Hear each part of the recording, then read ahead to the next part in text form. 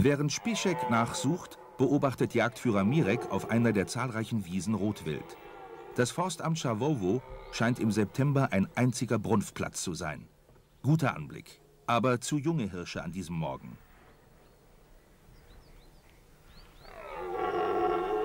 Vierte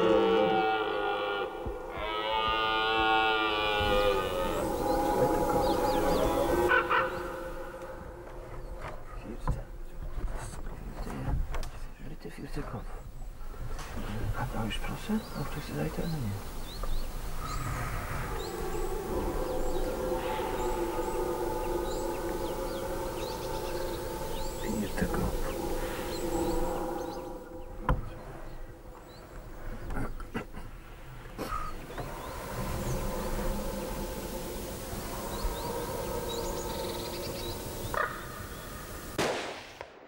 Im Nachbarrevierteil fällt ein Schuss. Es ist jetzt 6 Uhr früh.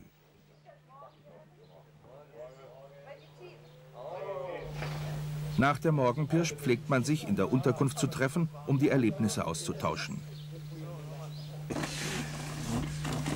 No nie wiem, bo dzisiaj ma Rysiek dojechać, to co? No ja nie wiem, ja ci mówię.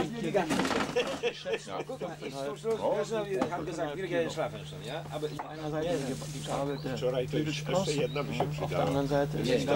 Ja już cugla dostałem. Auf der anderen Seite eine I weźcie stołu i przejdziemy. Der besagte Schuss wurde von einer Jungjägerin aus Luxemburg abgegeben. Der Bruch am Hut signalisiert Weidmanns Heil. Meine liebe äh, Leute, Nicht jeder kam an diesem Morgen zu Schuss, aber ein kräftiges Frühstück tut allen gut. Die beiden gestreckten Hirsche werden nun in einer gemeinsamen Fahrt geborgen. Das übernehmen die Jagdführer mit dem Geländefahrzeug des Forstamtes. Nie mam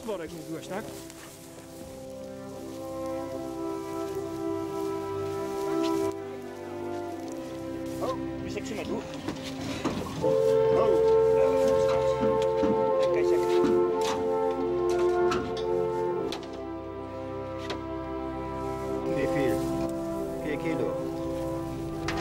Four and a half, maybe. Two five. Bisschen mehr. Bisschen mehr. Aber gute Hirsch. Guter Abschuss jetzt. Ja.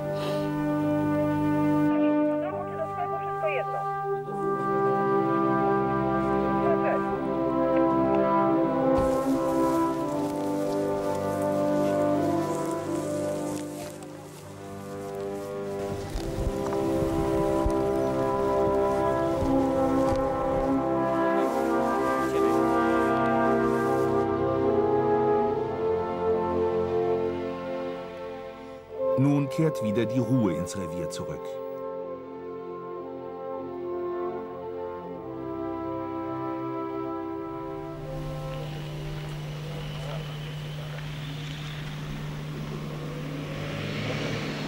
In der eigens dafür eingerichteten Försterei wird das Wildbret sofort weiterversorgt.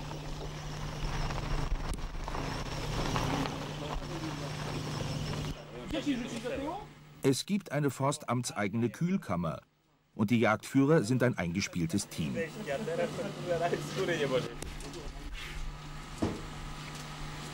Die Gattin eines Jagdführers übernimmt das Wiegen und notiert sorgfältig die Wildbretgewichte. Die Gäste zahlen allerdings nach dem später ermittelten Geweihgewicht.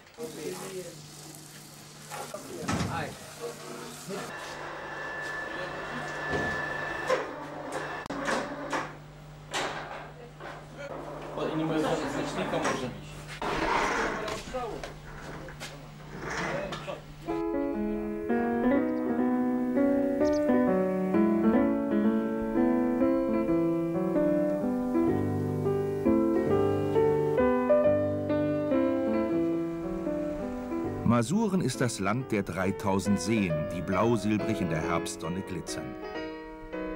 Das wissen auch die Angler, denn besonders in diesem Teil Polens ist Angeln fast ein Volkssport.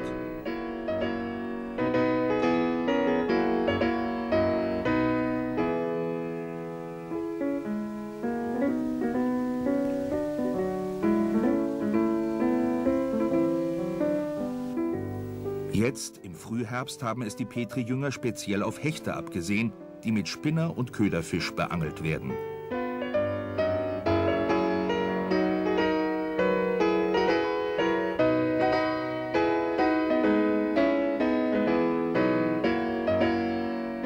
In Masuren kann man von extensiver, kleinstrukturierter Landwirtschaft sprechen. Das macht die Landschaft besonders vielfältig.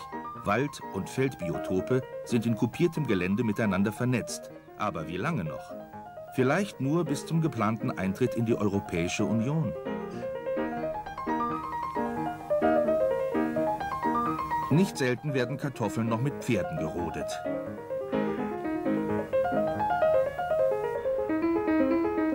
Auch die Milch wird zum Teil noch mit dem Pferdefuhrwerk zu den Sammelstellen gebracht.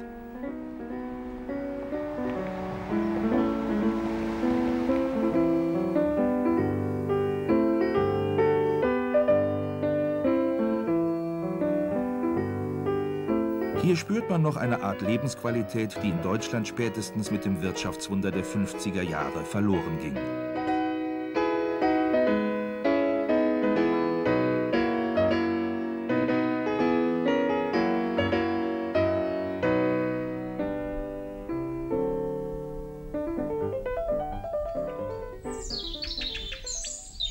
Selbst über Tag steht das Rotwild auf den Waldwiesen. In diesen Wäldern herrscht absolute Ruhe. Im Forstamt Schawowo bewirtschaftet man das Rotwild auf besondere Art, die sich von vielen anderen Rotwildgebieten Polens erheblich unterscheidet. Spischek entwickelt seit ungefähr zehn Jahren ein Rotwildbewirtschaftungsmodell, das für Polen beispielhaft ist. Als ich vor 20 Jahren anfing, bei der Staatsforstverwaltung zu arbeiten, hatten wir beim Rotwild eine starke Reproduktion. Die Hirsche waren stark und ihre Geweihe auch. Die Brunften waren fantastisch. Danach gab es neue Richtlinien der Staatsforstverwaltung und wir fingen an, beim männlichen Rotwild massiv in die jungen Altersklassen zu greifen. Es kam vor, dass wir 65 Prozent der jungen Hirsche erlegten. Die Konsequenz war, dass weniger Hirsche über die Mittelklasse in die Altersklasse hineinwuchsen. Die Hirsche waren genauso zahlreich wie vorher, aber es gab kaum noch Platzhirsche. Jagdbare Hirsche waren so gut wie nicht vorhanden.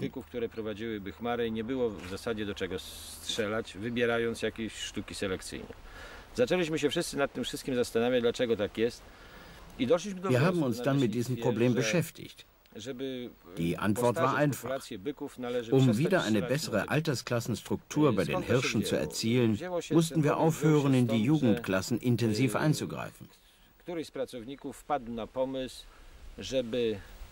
Einer unserer Kollegen hatte nämlich herausgefunden, dass nur bei Schonung der jungen Hirsche die Anzahl der Geweihe ab dem fünften Kopf zunehmen würde.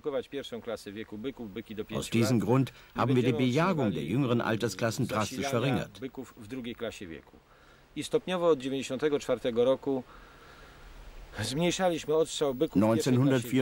schossen wir noch 50 Prozent junge Hirsche, voriges Jahr nur noch 20 Prozent. Heute schon trägt diese Politik ihre Früchte. Die Hirsche ab dem fünften Kopf, also diejenigen, die schon recht ordentliche Geweihe schieben und vor allem aktiv am Brunftbetrieb teilnehmen, werden immer zahlreicher.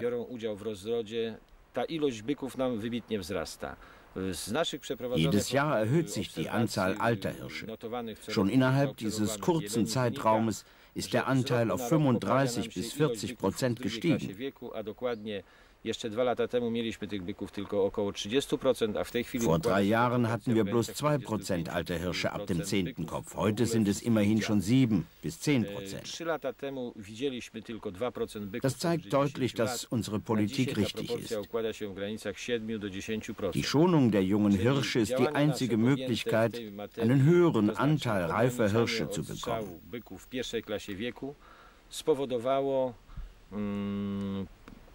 Wir haben also gut daran getan, die damaligen Richtlinien der Forstverwaltung nicht einzuhalten. Bardzo mocniej rozbudowaną klasę wieków, starszą, która udział bierze w rozrodzie, musimy niestety oszczędzać młodszą klasę wieku, czyli robić odwrotnie niż dotychczas to było zalecane.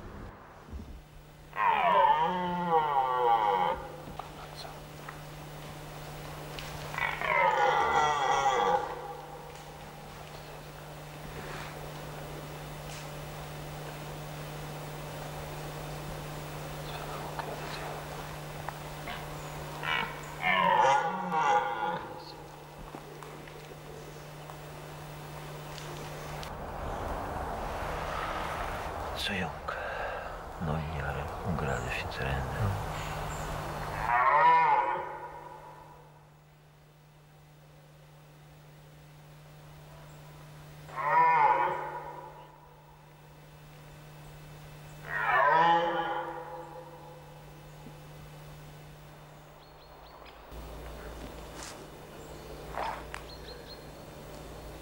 Das war so, die Geschichte von Rotwild in Johannisburger Heide äh, ist welche. Ungefähr 1850, die ganze Rotwild war hier äh, totgeschossen, gewildet, ich weiß nicht. Und Anfang 1900, äh, 1900 die Wiedergesetzten ist Rotwild hier.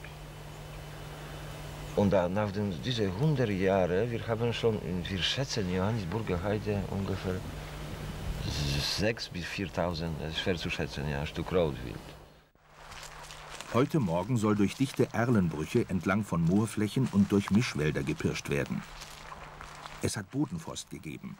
Ein vielversprechender Brunftmorgen. Die wichtigsten Brunftplätze sind als Wildruhezonen ausgewiesen.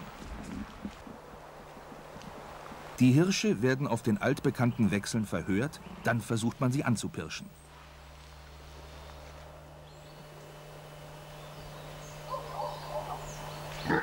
Diesmal überrascht die Jäger ein mittelalter, gut veranlagter Hirsch. Das Ziel heute Morgen ist, bis an eine sehr abgelegene Moorfläche heranzukommen. Es gibt keinerlei Wege. Dafür müssen dichte Birkenwälder durchpirscht werden. Es geht an einer Waldwiese vorbei, auf der ein junger 14-Ender meldet.